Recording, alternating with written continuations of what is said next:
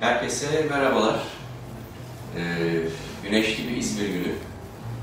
Size e, İzmir Alsancak Polikliniğinden, Bayındır İzmir Alsancak Polikliniğinden merhaba diyorum. Ve e, bugünkü e, konuşmama başlıyorum. Öncelikle e, e, şöyle, e, Covid e, biliyorsunuz son dönemde e, son derece tabii gündemimizi dolduran bir konu. Ve e, Covid döneminde diş hekimliği uygulamaları ile ilgili herkesin e, kendine özgü bir takım çekinceleri var gayet doğal olarak. E, bu konularla ilgili size bir e, biraz bir genel bilgi vermek istiyorum. Onun ardından da daha genel bir konudan bahsedeceğim. İmplantla ilgili bir konu bir, biraz konuşmak istiyorum. Bu konuyla da ilgili çok sorular geliyor. Hastalarımız sık sık bize bu konuyla ilgili derinleştirici bilgiler almak için sorular soruyorlar. Bunlara cevap vermeye çalışacağım olabildiğince. Bu sorulardan bir derleme yapmaya çalıştım ben. E, bunlar üzerine e, giderek e, sizlere bu konuşmayı yapmaya çalışacağım.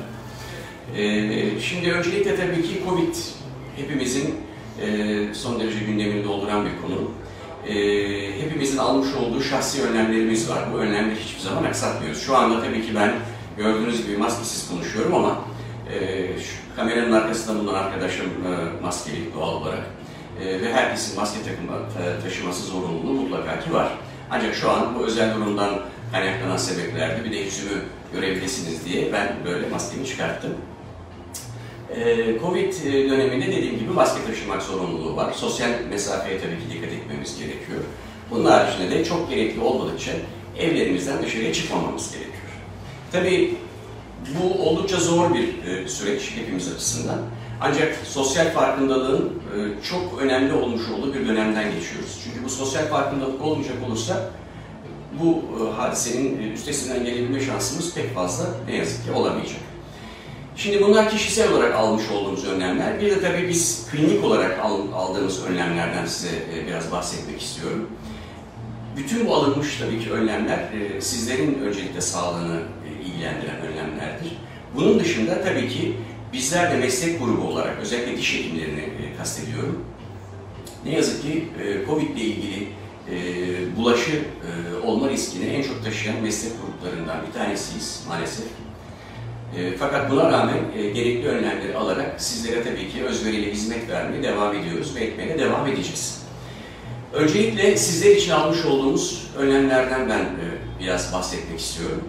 E, bildiğiniz gibi hastanın e, alınmasından önce odanın hazırlanması ile ilgili bir proses, bir prosedür var. Bu proses ve prosedür şöyle işliyor. Eğer buraya daha önce bir hasta kabul edildiyse mutlaka bir 15-20 dakikalık bir e, havalandırma söz konusu oluyor. Zaten iki tane farklı odada çalışıyor her bir hekim arkadaşım. Dolayısıyla bir e, hasta diğer klinikte bakılırken diğer oda bu esnada havalandırıp ilaçlanıyor. İlaçlamaktan kastım buharlama e, yöntemiyle ilaçlama yapıyoruz. Mutlaka her diş hekimi ya da her e, diş kliniği e, kendisine göre bir yöntem e, geliştirmiştir. E, bunlar zaten hazır yöntemler ve önerilmiş yöntemler, denenmiş olan yöntemler. Biz e, hipoklorozle e, fümügasyon yapıyoruz e, muayene odalarımızda ve dediğim gibi 15-20 dakika e, e, civarında havalandırıyoruz. Bunun haricinde tabii ki e, önlem olarak aldığımız şeylerden bir tanesi de e, hasta başında özellikle müdahale esnasında kullanmış olduğumuz büyük aspiratörlerimiz var. E, sağ olsun e, Bayındır e, Sağlık Grubu bu konuda e, hiçbir şekilde e, masraftan kaçınmayarak e, bu türden e, cihazları ve aparatları bize temin ediyorlar e, isteklerimiz doğrultusunda. E, bu cihaz havadaki partikülleri, uçuşan partikülleri ki bizim aletlerimiz bildiğiniz gibi çalıştığı anda etrafa pek çok partikül saçılmasına sebebiyet verebiliyor. Bu partikülleri toplayan e, özelliğe sahip bir e, aparat. Bu aparat e, hızlı bir şekilde havaya iniş yapıyor, muhtelif filtrelerden geçiriyor. E, daha sonra ilaçlı bir sıvının içerisinden geçirip ultraviyole filtre ile beraber içerisinde olması olası bütün e, virüsleri e, ortadan kaldırıyor. Bunların haricinde bir de kliniğimizde genel olarak e, kapılarımız otomatik hale getirildi. E, yani genel kullanımda olan kapılardan söz ediyorum, lavabolarda bulunan. Bunlar da e, tabii ki dokunarak bulaş riskini azaltmak yönünde almış olduğumuz tedbirler. Bu tedbirler şu anda gayet başarılı sonuçlar verdiğini bize gösteriyor zaten. e, hakikaten e, hiçbir sıkıntı olmadan klinik çalışmalarımızı yürütüyoruz. Tabii kendimizle ilgili aldığımız önlemler de var. Bunları detaylandırmak belki çok gerekli olmayabilir ama yine de e, geldiğiniz zaman ya da buraya uğramış olan hastalarımız zaten görüyorlar ama e, özel kasklarımız var e, taktığımız. Yine e, çok özel e, filtreli maskelerimiz var, FFP3 maskelerimiz var. Bunları takıyoruz müdahale esnasında. Önlüklerimiz var, cerrahi önlüklerimizi kuşanıyoruz. Eldivenler, maskeler, e, gözlükler var tabii ki. E, yardımcı personelimiz de dahil olmak üzere herkes e, bu türden e, şeyleri, e, aparatları üzerine taşımak mecburiyetinde müdahale yaparken bunun bu türden önlemleri aldığımızda gerçekte hakikaten müdahale esnasında sizlerin e, açısından riski hemen hemen sıfıra indirirken kendi açımızdan oluşabilecek olan riskleri de çok çok aza indirmeyi başardığımızı söyleyebilirim. Peki e, pandemi esnasında e, almış olduğumuz e, bu e, önlemler dışında e, neler yapmamız lazım? Yani pandemi esnasında e, kliniklere gitmek gerekiyor mu? Elbette.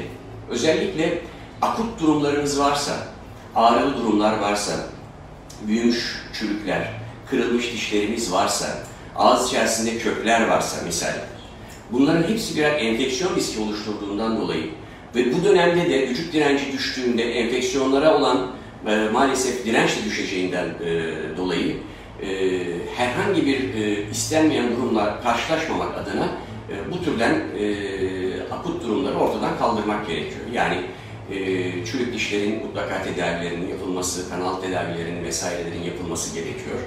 E, enfeksiyona sebebiyet verecek her türlü şeyin ortadan kaldırılması da bence büyük yarar var. Özellikle yarım kalmış olan tedavilerimiz varsa bunların tamamlanması lazım. Yani yarım kalmış bir kanal tedavimiz varsa bunun tamamlanmadan hayatımıza devam etmemiz bence çok ciddi bir riski taşıyor olmamız anlamına gelir. Çünkü bu kanal vasıtasıyla çene kemiğimize ulaşacak olan bakteriler olarak büyük enfeksiyonlara sebebiyet verirler. Ve bu enfeksiyonlarda sonraki aşamada vücudumuzun da muhtelif bölgelerinin hastalanmasına, eklemlerimizin, kalbimizin rahatsızlanmasına, bir takım e, enfektif rahatsızlıkların oluşmasına sebebiyet verebilir. E, yarım kalan tedavilerimizin haricinde eğer ki e, devam eden mesela ortodontik tedavilerimiz varsa, şimdi bunlar zamana bağlı olan tedaviler olduklarından dolayı bunların izlenmesi gerekiyor zaten. Yani bir tel takıldığında, ortodontik bir tel e, takıldığında dişleri düzeltmek için bu esnada bir takım hareketler dişlerde oluşmuş oluyor ve aylık kontrollerin mutlaka yapılması gerekiyor.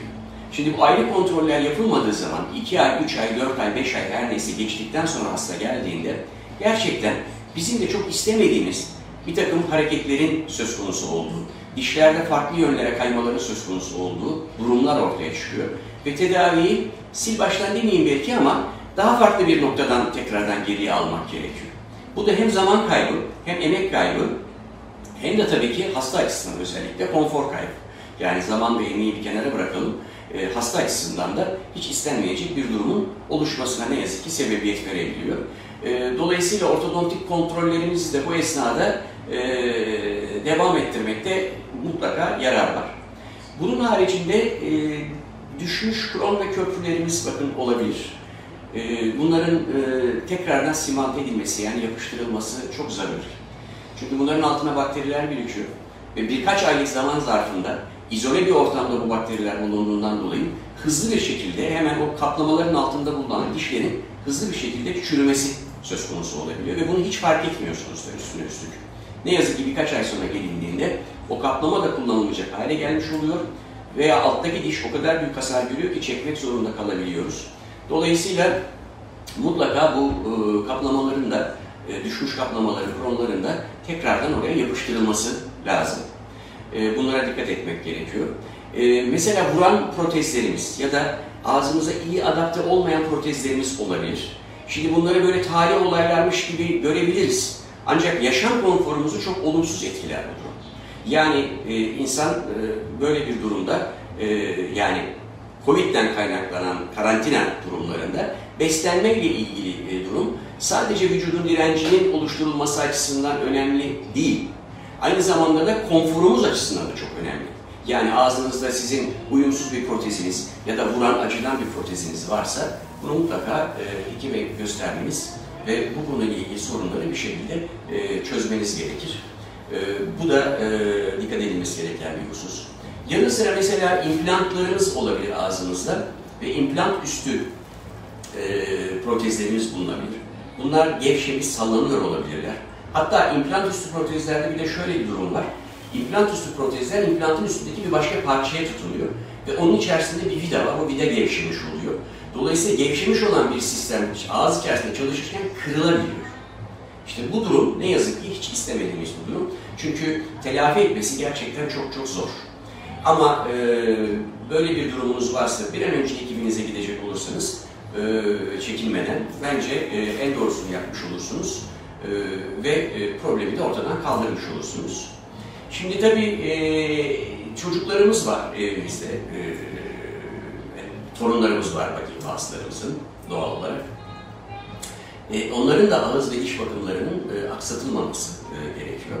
Şimdi çocuklar zaten 6 aylık bir periyotla mutlaka kliniklerimize davet ediliyordu. E, sizin de belki gittiğiniz e, başka hekimleriniz var 6 aylık kontrollerde, kliniklerimiz haricinde. E, mutlaka 6 aylık kontrollerinizin yapılmasını ben öneririm. Diş hekimi arkadaşlarımız da zaten öneriyorlar bunu. Bu, bu kontroller esnasında çocukların dişlerinin çok hızlı bir şekilde çürüyebileceğini aklımızdan çıkarmamamız lazım. Dolayısıyla çürük dişleri varsa, ufak tefek yapılacak müdahaleleri varsa bunların bir an önce halledilmesinde yarar görüyorum. E, yanı sıra bu türden dişler çocuklarda diş enfeksiyonlarına ve apselere sebebiyet veriyorlar. Bu da tabii hiç istenmeyen bir durum.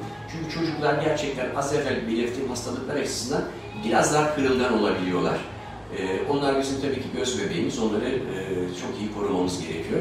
Dolayısıyla e, kliniğimize getirecek olursanız onların da kontrollerini gerçekleştirmiş oluruz bu dönemde. Şimdi altını çizmek istediğim bir başka konu var, o da şu.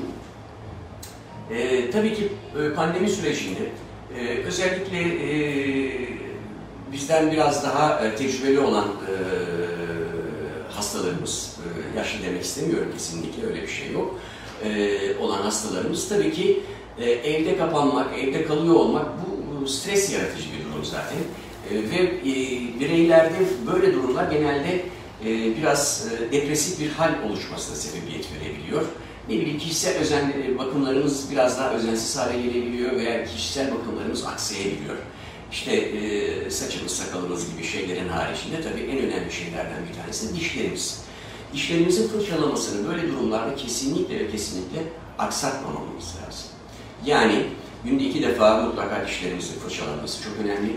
Diş ipi kullanıyor olmamız çok çok önemli. Bunlar bizim ağız ve diş sağlığını idame ettirmemizi sağlayacak kişisel önlemlerimiz.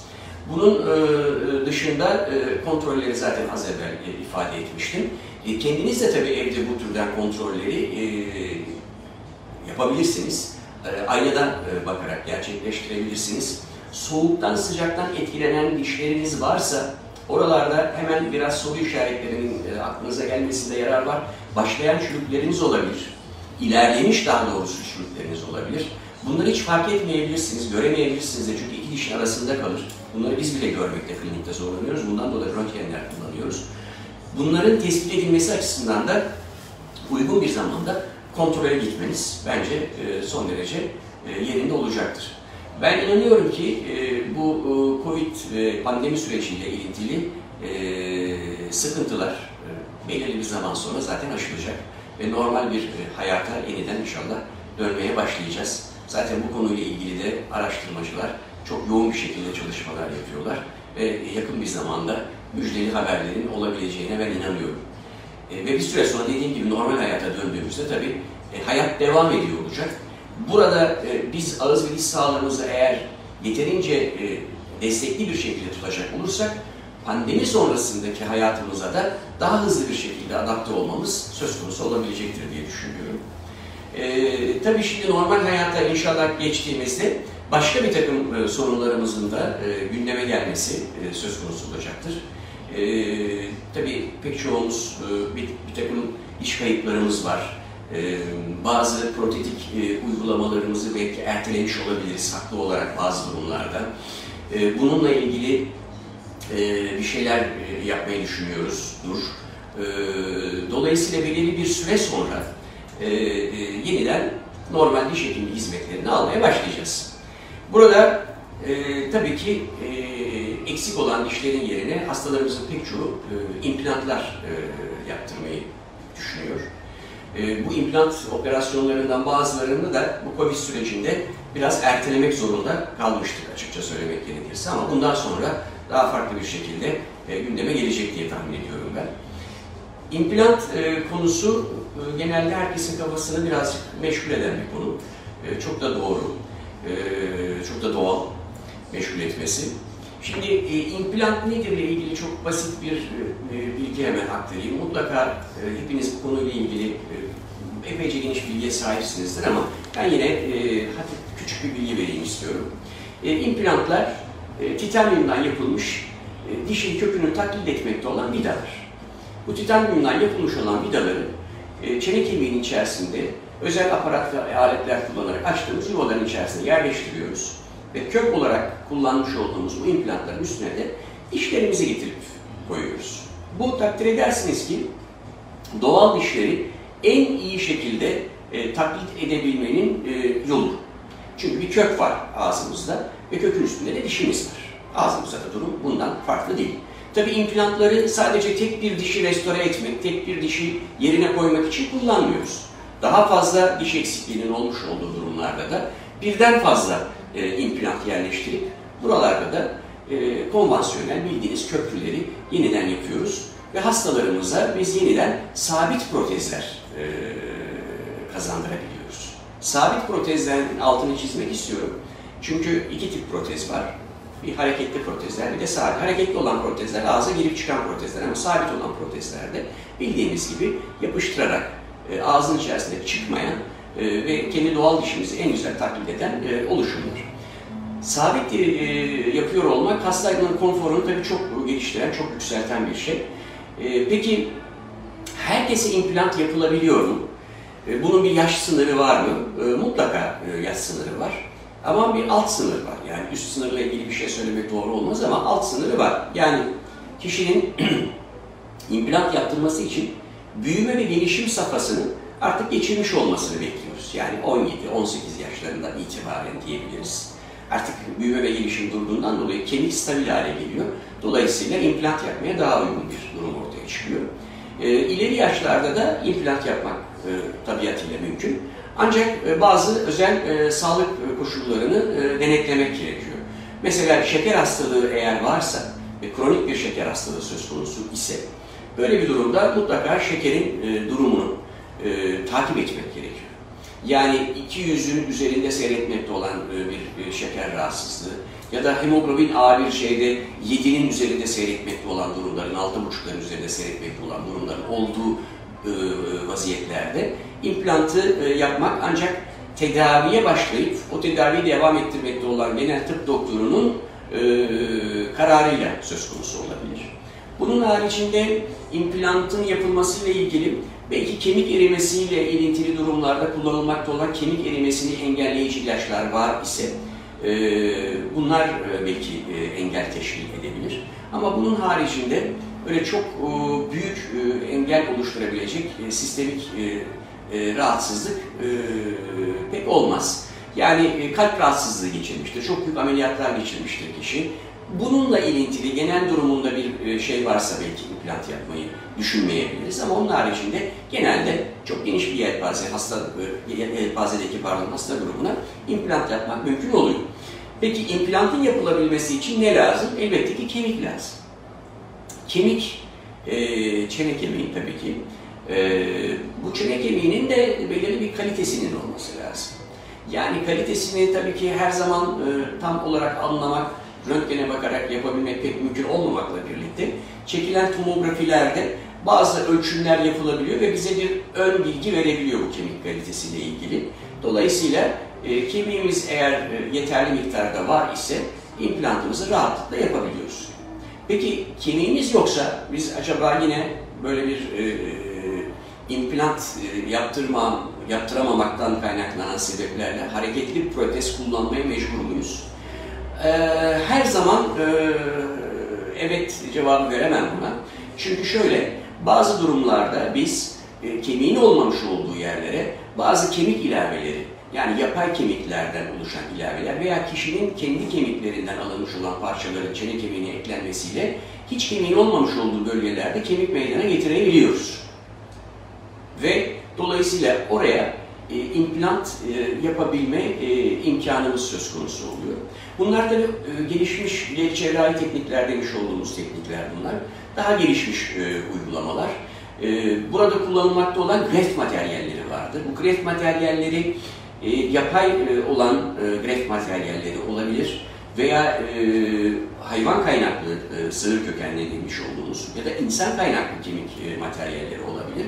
Bunlar toz halinde e, çene kemiğinin e, üzerine yerleştirilip e, özel yöntemlerle kapatılıyor ve burada bunların kemik meydana getirmesinden sonra biz buralara implant yapabiliyoruz. Veya yukarı çenede, e, pardon üst çenede e, maksilla demiş olduk, pardon e, sinüs demiş olduğumuz boşluklarımız var. Bu sinüs boşluklarının bulunmuş olduğu yerlerde çene kemiği aşağı sarkabiliyor.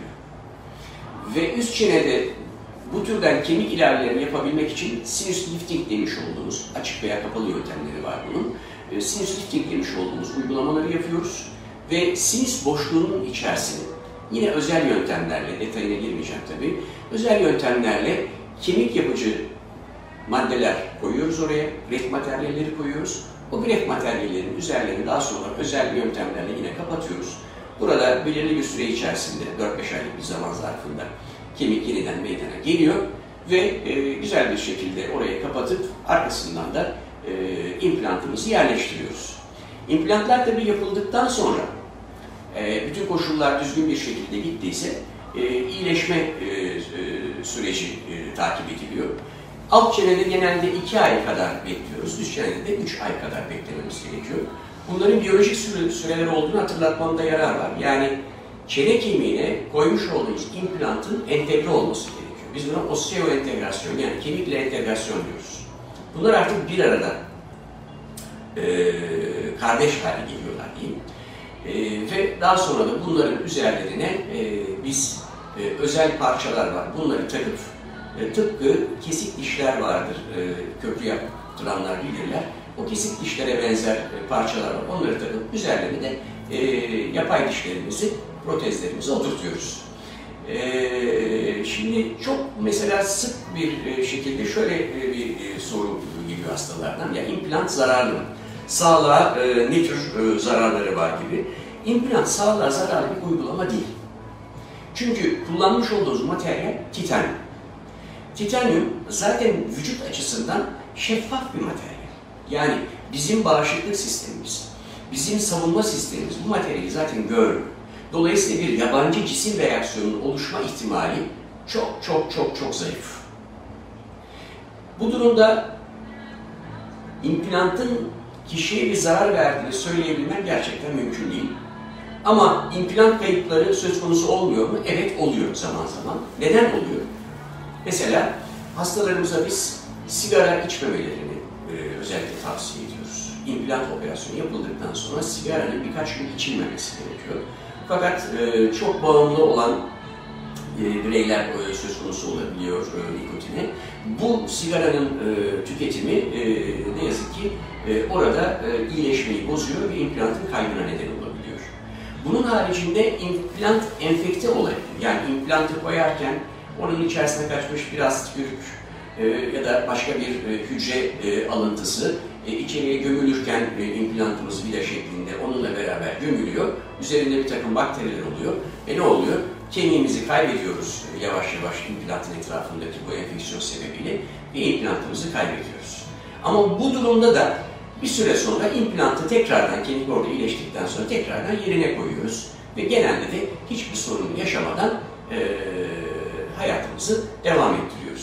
Dolayısıyla söylemem gerekir ki e, implant e, hakikaten şu anda diş hekimlerin elindeki en güzel e, çözümlerden bir tanesi. Yani diş kayıplarının olmuş olduğu durumlarda e, estetik kaygıların söz konusu olduğu, konforun daha ön plana özellikle çıkmış olduğu durumlarda e, implantı biz çok büyük bir gönül rahatlığıyla hastalarımıza öneriyoruz.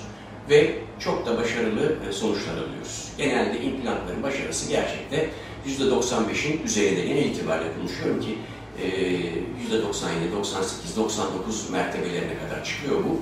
E, ve hiçbir sorun olmadan hastalarımız yıllarca kullanıyorlar. Peki implantlara sonrasında bir şey oluyor mu? Samimi konuşmak gerekirse eğer kişi ağız hijyenini aksatmazsa e, implantı bir ömür boyu kullanabilmesi mümkün. Çünkü implantın sonraki aşamada kaybedilmesiyle ilgili ana problem şu.